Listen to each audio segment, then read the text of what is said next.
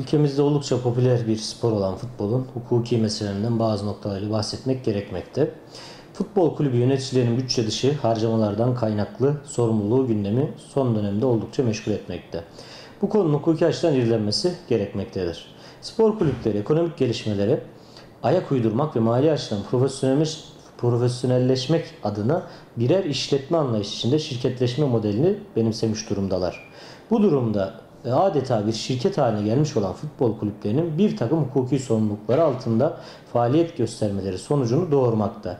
Hemen belirtelim ki belli başlı kulüpler e, ülkemizde faaliyet gösteren AŞ'de AŞ olarak faaliyet göstermekte kalan e, kulüpler ise dernek statüsündedir.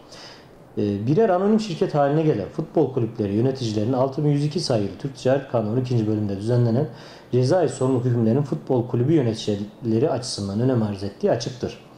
Bunun yanında futbol kulübü yöneticilerinin kamu borçlarından da sorumlu olabileceği haller tezahür edebilir. Vergi yükümlülüğünü yerine getirmeyen, vergi mükelleflerinden tamamen ya da kısmen alınamayan vergi ve buna bağlı kanuni ödevleri yerine getirmeyenlerin mal varlığından alınabilecektir. Yönetim kurulu üyelerinin kamu alacaklarından doğacak borçlara ilişkin vergi usul kanunun 10. maddesine göre sorumluluğu bulunmaktadır. Bu maddeye göre tüzel kişilerin vergi sorumlusu olmaları halinde vergi yükümlülükleri kanun temsilcileri tarafından yerine getirilecektir.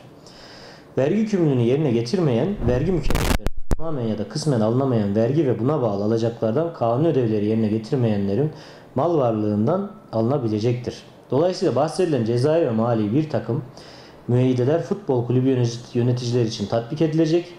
Onlar adına menfi bazı neticeler doğurabilecektir.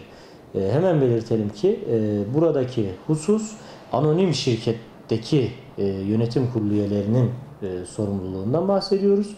E, dernekler açısından durum farklı. Dernek statüsünde bulunan spor kulüpleri açısından durum farklı. E, son dönemde e, spor kulüplerinin akıbeti açısından önem arz eden spor kulüpleri kanun teklifi de mevcut bulunmaktadır. Buna göre meskur teklifin yasama organından onay alması halinde futbol kulübü yöneticilerinin kendi dönemlerindeki harcamalardan ve borçlanmalardan doğrudan sorumlu olabilmesi söz konusu olabilecektir.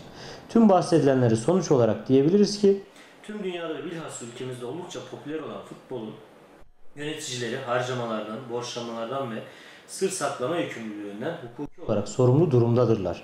Bunun sonucu olarak kendileri maddi ve manevi tazminat borcu altına girebilir ve hatta kendileri aleyhlerine e, ceza müeyyideler de tesis edilebilir.